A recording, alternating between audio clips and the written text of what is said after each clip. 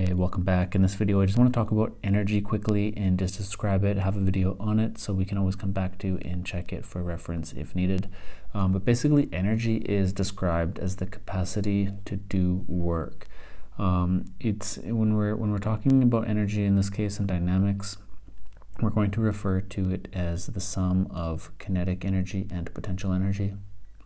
But before we get into what each of those are, um, we're just going to also say that energy is otherwise, uh, aside from being described as a capacity to do work, it is otherwise like a measure of the change imparted to a system. That's the way that people like to refer to this. So the units of energy are joules.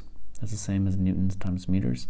Um, and again, that was the same as the units as work. So in the last couple of videos, when we're talking about a moving force doing work on an object, um, when we have a moving force that does work on an object, the energy that's imparted to the object is equal to the work done by the force.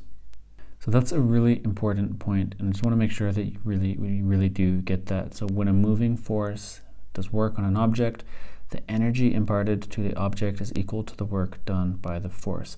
So what's happening in almost all of these problems is we're going to have like two states, like you know point in time one and point in time two.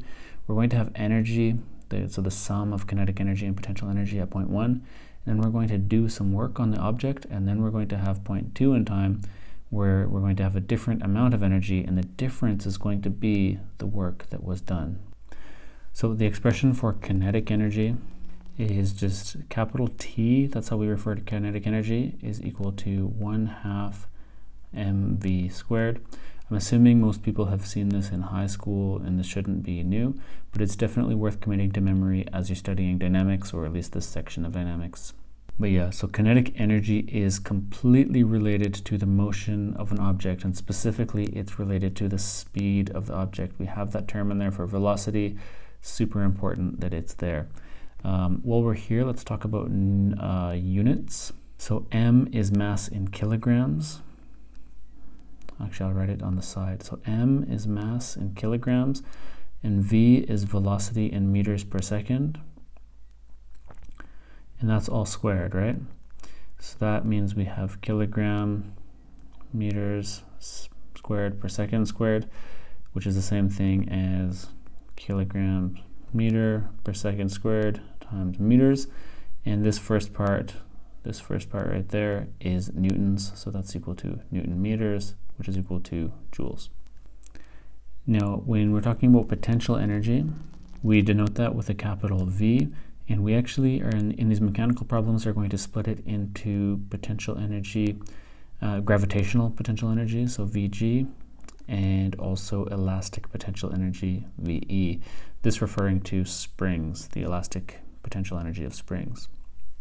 So this whole expression V is equal to Vg plus Ve is referred to as the potential function. And ultimately, potential energy in general is for conservative forces and it's related entirely to the initial and final position relative to a reference that we choose. It's going to be a different reference for gravitational potential energy and spring potential energy or elastic potential energy, and you'll see that in one second. So let's write the expression, I guess, for gravitational potential energy first. So we've got Vg, and this is just equal to mgh. I think most people probably have seen this again in high school level course. Um, m is mass in kilograms, g is acceleration due to gravity, and h is height in meters. You might see this written sometimes maybe as wy, w just referring to mass times gravity, so mg, and y just being another way to write h for height.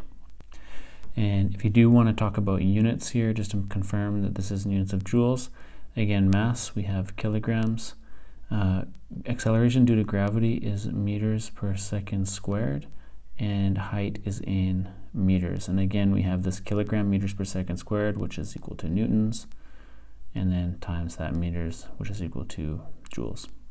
Or if you've already converted mg to weight, then weight is in units of newtons, and y is meters, so again, joules. All right, and then just the expression for elastic potential energy is VE, which is equal to positive 1 half kx squared. Now it's always positive because whether we're stretching or compressing a spring, the spring force will always be directed towards the unstretched position. It always wants to return to that position. It's always going to give you a positive value. And then for the rest, we have this letter K, that's the spring constant, and X, which is the distance that we've basically stretched or compressed the, uh, the spring. The units here are going to be newtons per meter for K, and X is in meters, so we have meters squared.